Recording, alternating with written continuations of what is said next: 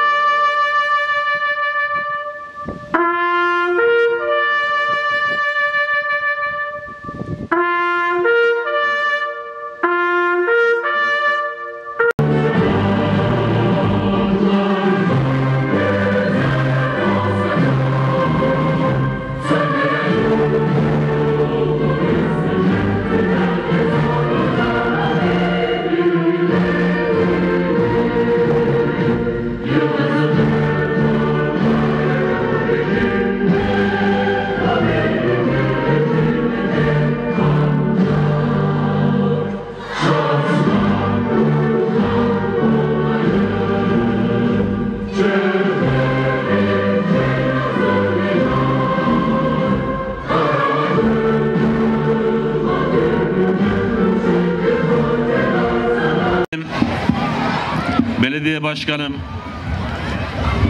çok değerli kamu kurumlarının kıymetli temsilcileri, kurum amirleri, çok kıymetli meslektaşlarım, sevgili öğrencilerimiz, basınımızın temsilcileri, bu rahmet ve bereket dolu günde önemli bir açılışı sizlerle birlikte yapmış olmanın mutluluğunu yaşamakla birlikte hepinize hoş geldiniz, sefalar getirdiniz diyorum. Türkiye yüzyılı vizyonumuz doğrultusunda eğitimde yenilikçi yaklaşımlar ve çağın gerekliliklerine uygun bir marif modeliyle öğrencilerimizi geleceğe hazırlamak için tüm imkanları seferber etmeye çalışıyoruz. TÜBİTAK 4007 Bilim Şenliği de bu vizyonun somut bir yansımasıdır. Burada öğrencilerimiz atölyelerde bilimle, teknolojiyle, sanatla buluşacak. Sadece öğrenmekle kalmayıp üreterek ve keşfederek kendilerini geliştireceklerdir. Her biri bilimsel düşünme yetisini kazanarak geleceğin liderleri olma yolunda önemli adımlar atacaklardır.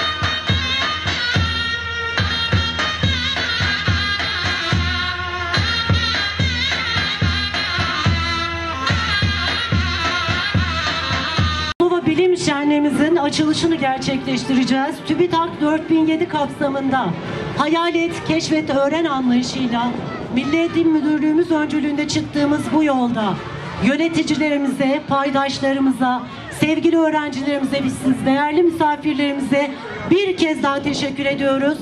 Bilim şenliğimizin Yalova'mıza, Milli Eğitim Camiamıza, gençlerimize hayırlar getirmesini temenni ediyoruz.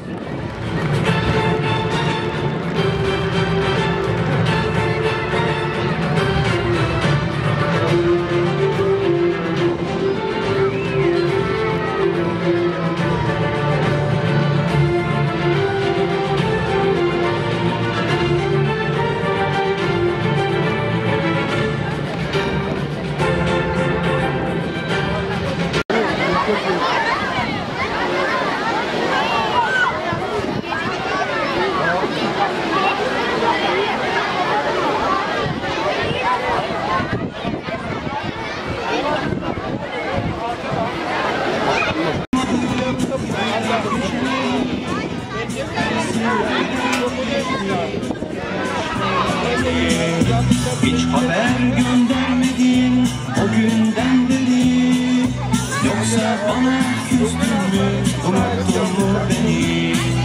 Dün yine seni andım gözlerim doldu.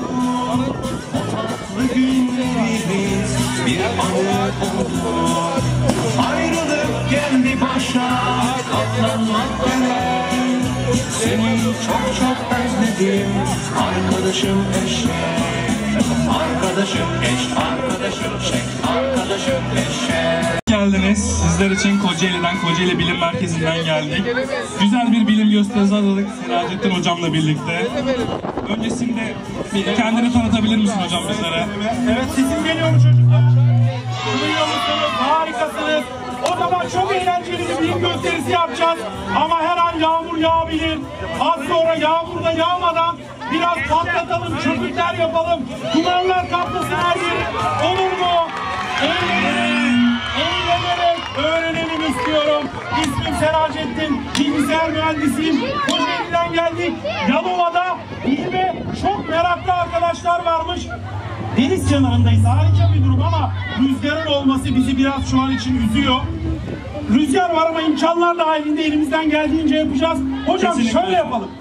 En güzellerini yapalım mı arkadaşlara? Olur hocam bence. de. Amacımız size bilimi sevdirmek, bilimin çok zor olmadığını, okulda öğretmenlerimizin anlatmış olduğu teorik ders konularını daha eğlenceli nasıl anlatabiliriz? Amacımız bu. Hocam ilk deneyimizden başlayalım. Ne yapalım? Ne yapalım? Su mu yapalım hocam? Bir, benim özel güçlerimden bahsetsek mi? Aa evet hocam ben Evet, evet, evet hocam. yolda Hemen. soracaktım unuttum hazır burada arkadaşlarım Ben var. su Ben de alıp sormak soruyorum, istiyorum. sen özel güçlerinden bahset. Evet. Evet Seracettin hocam için Ejderha Seracettin dendiğini duydum. Ama bunu nasıl yaptığını çok merak ediyorum. Çünkü ejderhalar alevler çıkartıyor ağızlarından. Acaba Seracettin hocam nasıl bir şey yapabilir? Hocam ben Lakabı nasıl aldı? Ağzımdan çıkartmıyorum ama avuçlarımdan alev topları atabiliyorum. Olabilir mi sizce böyle bir şey? Olamaz ki avuçtan. Nasıl olur ya? Kaç kişi gördünüz böyle elinden alev topları atan? Olabilir mi? Arkadaşlar bilimsel çalışmalar ispat ister. Birisi seviyorsa onu yaparım, şunu yaparım ne diyoruz? İspatla görelim diyoruz. Çünkü deney gözlem yapmamız gerekiyor. İnanmamız gerekiyor, gözlemlememiz gerekiyor. Şimdi hocam iki tane su dolu kabım var. Kaplardan birine, yalnız rüzgar da çok. Biraz korkuyorum hocam açıkçası. Yapacak şey Ama hocam arkadaşlar geldi. Biraz çıktık. sınırları zorlayacağız. Şöyle gizli maddemi ilave ediyorum. Tabii ki arkadaşlar gizli madde diye bir şey yok. Bilimde her şeyin bir açıklaması var. Bulaşık deterjanı boşalttım. Şimdi bulaşık deterjanının üstüne hocam biraz köpürtsen mi onu? Bulaşık yıkamamız gerekebilir. Evet, Vallahi köpürtüyorum ben bunu, Şu 10 karıştırıyorum. dakika rüzgara biraz olmasa rüzgar eğlenceli şeyler yapacağız. Çocuklara bir şeyler öğreteceğiz. Şimdi arkadaşlar bakın ne oluyor. Yalnız duman bu kadar hızlı kabul oldu. Hemen güneş açıyor ve rüzgar gidiyor. Aman Allah'ım. Arkadaşlar bakın ne olacak şimdi. Çok dikkatli izleyin. Evet, ne olur hocam. geliyor. Bakın Geliyor hocam. hocam geliyor. Şakmakların içerisine doldurduğumuz yanıcı bütan gazı var tübümüzün içerisinde. Çakmak gazı veriyoruz. Bakın ne oluyor. Basıyorum. Wow! Çok güzel. Arkadaşlar, arkadaşlar şaşırmanız gereken kısım bu değil. Ya bir şey olmadı sadece çıktı. Asıl şimdi şaşıracaksınız ama hocam rüzgar gerçekten çok var. Deneyelim bir bir kere. Bir kere deneyelim hocam. Şimdi arkadaşlar avuçlarımdan alev topları çıkartacağım ama rüzgar çok hocam. Bir bekleyelim bir hissedin. Herkes şöyle bir odaklansın Allah'ım. Çok az rüzgar olmasa çok az. Sonra gelebilir ona da ihtiyacımız olabilir. Ama şu an şöyle elimiz. Hocam gitti. Rüzgar gitti geliyor dikkatli olun. Arkadaşlar hemen hocam. Hemen hemen hemen. Yanmadı hocam. Hocam çabuk. hocam yakıyorsun beni. Ama çok güzel gözüküyor. Hocam güzel bir canım yanıyor. Gördünüz mü arkadaşlar? Bir daha yapıyorum rüzgar yokken. Şöyle biraz Evet, daha. buradaki arkadaşlarım görememişler. Hemen hemen göstereceğim. Çok Şu heyecan, çok güzel. Bazen ortalığı dağıtabiliriz. Eğer bir şeyler öğreneceksek sonucunda birazcık dağıtabiliriz. Biraz köpük aldım. Rüzgar. Yok yok Emre hocam. Arkadaşlar. Hocam alev alev yaktın beni ya. Ya ama ben çok eğlendim bu deneyden. Arkadaşlar gördünüz mü? Boş yere ejderha Serajettin Hoca demiyorlar bana. Tabii ki de şaka yapıyoruz. Ne yapıyoruz burada? Aslında benim elim yanmıyor. Buraya köpük oluşturdum. Ben O köpüğün içerisinde yanıcı bütan gazı buralarım Avucuma aldığımda o gaz hapsolmuş köpüğü Emre Hoca bir çakmak çakıyor. Benim elim yanmıyor. Köpük yanıyor. Ve siz sanki böyle Serajettin Hoca şöyle kapalı bir ortamda, rüzgarsız bir ortamda belki bir gün bunu daha detaylı yapabiliriz. Peki bir şey sorabilir kilometredeki Arkadaşlar Satürn gezegeninden daha soğuk diyorsun havayla burası. dahi temas ettiğimizde aniden gaz haline geçiyor sıvılaştırılmış azotumuz. Çünkü çok soğuk. Eksi 196 derece. Hocam şu eksi 190 bir sandalye daha geç. Ben şişman olduğum için biraz tek sandalye kırılabilir. Tamam harika. Hocam bir balon mu şişirsen? Şişireyim hocam. kaybetmeden bir balon şişiriyor Emre Hoca. Şimdi bakın. Islattık mı balonları? Ben mikrofonunu tutayım.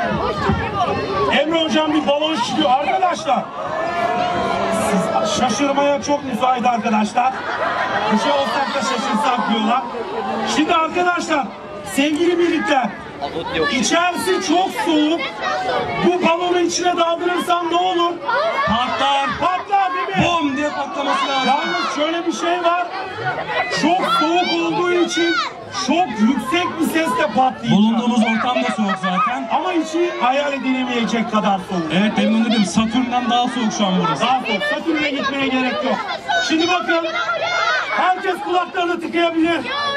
Çok yüksek sesli bir patlama olacak. Hocam ben feda ediyorum. Ben gidiyorum. Sıcak suya. Bir bak hocam. Tamam. Şimdi bakın. Patlatıyorum bunu. Çok yüksek bir ses çıkabilir. Bir dakika siperliğimi niye takmıyorum?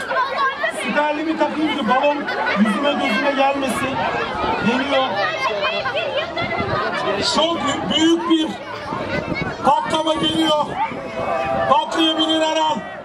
Aman Allah'ım çok korkuyorum. Şaka yaptım tabii ki de sakin olun. Sizi test ettim. Arkadaşlar patlamadı. Patlamadı. Nasıl patlamadı hocam? Patlamadı hocam. Arkadaşlar patlamadı. Büzüştü balon. Buna şaşırabilirsiniz. Çünkü Nasıl olur? Bakar mısın?